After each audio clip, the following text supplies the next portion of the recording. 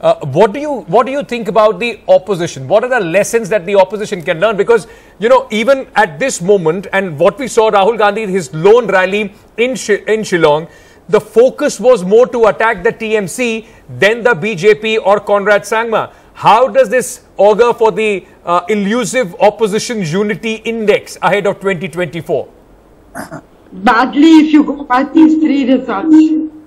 Uh, I think, uh, you know, the, the, the, takeaway, of course, is that uh, BJP is going to be in all the three governments, and these regional parties are going with the BJP because they think it will provide them political stability plus money for development works. But the real takeaway from these three uh, elections is the state of the Congress party. It's a it's wipe, virtual wipeout continues, and they, they don't seem to be worried.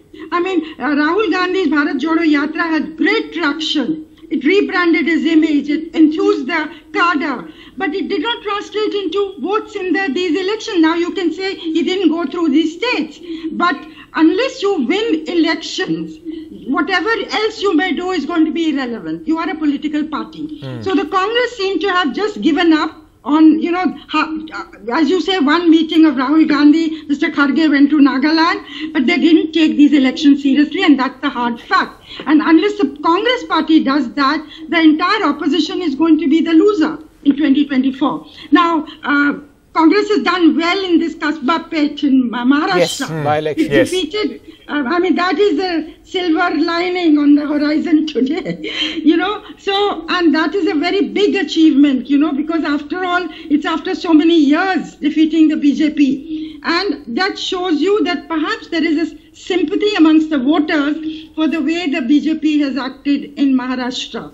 Okay. You know, in the way the tuft of the government, in the way the symbol has come name has gone to the breakaway faction of the Shiv Sena, whatever. And this may reflect in the BMC election. But certainly that's a heart, that's heartening news for the Congress party, even though it's, you know, one seat. Sure. That's very important. Right.